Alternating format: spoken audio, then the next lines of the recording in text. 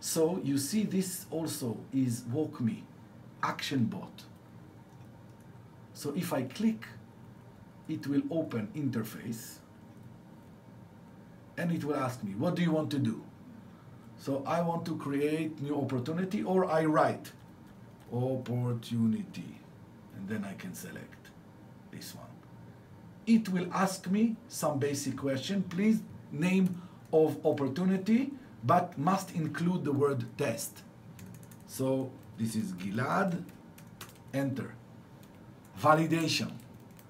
WalkMe, tell me, you did not follow the rule. You must include word test. Just for example, so Gilad test. Now it is okay.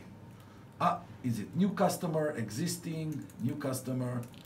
What is amount? Suki-san, what is amount? Give me example. 100. 100. Close date in two weeks. Language. Ah, arigatou gozaimasu. Relax. I finished. WalkMe automate everything for me. It is now new opportunity form. 100. Gilad test. It is new customer. Everything in two weeks, two weeks from now, is first, second of January. Mm-hmm. It means WalkMe validate everything.